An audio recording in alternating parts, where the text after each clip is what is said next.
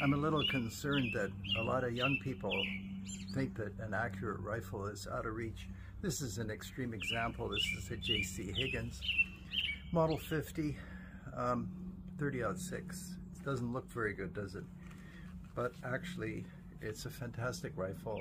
It doesn't cost that much.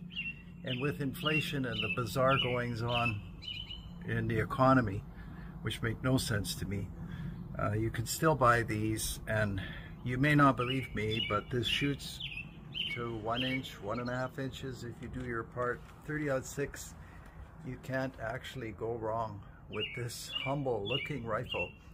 And it's actually in excellent condition. The bore is like new.